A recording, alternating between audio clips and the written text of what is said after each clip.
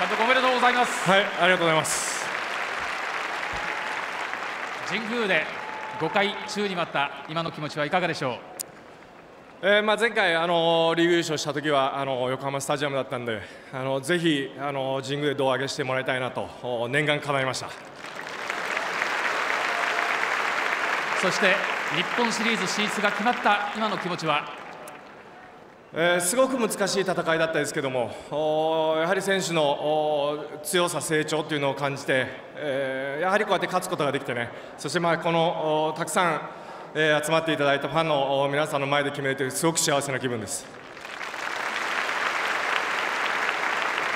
今日は序盤でアクシデントがあった中で青木選手の逆転タイムリーが出ました決めたのが青木選手というところに感動がありますが監督どんなふうに感じましたか？そうですね、あの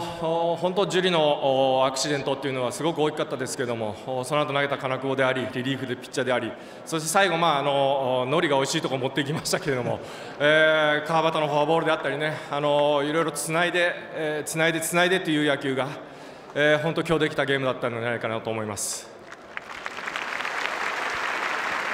このファイナルステージ短期決戦振り返るとやっぱり最初の奥川投手のピッチング大きかったと思うんですがあのピッチングいかがでしたか？そうですね、まああのおもちろん期待して送り込んだんですけれども、おあそこまでやってくれるとは正直思ってなくて、えーただあの、お初戦でね、えーああいうピッチングをしたのがやはりこうお勢いをつけてくれた、えーチーム全体にこう投打ともに勢いをつけてくれたピッチングだったと思ってます。えーそして3試合2失点キャッチャーの中村選手を含めて素晴らしい投手陣作りましたね。あそうですね、あのお中村のことも褒めとかなきゃいけないですね、あのまあ、あのピッチャーもちろんですけども、おそこをしっかりリードしたね、えー我慢強い中村は、あ中村もお非常に大きく成長したと思います。さあこれで日本シリーズ進出が決まりました。2001年高津監督が胴上げ投手になったあの時以来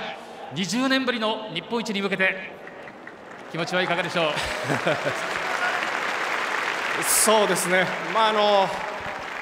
えー日本一になる、まあ、挑戦権を得たわけですから、必ずこれをお持って帰りたいと思います、必ず日本一になります。えー最後にファンの皆さんは絶対大丈夫と信じて 選手の背中を押しています、えーファイナルステージ突破の報告とそして日本シリーズに向けての意気込みを最後ファンの全国のファンの皆さんにお願いしますえあの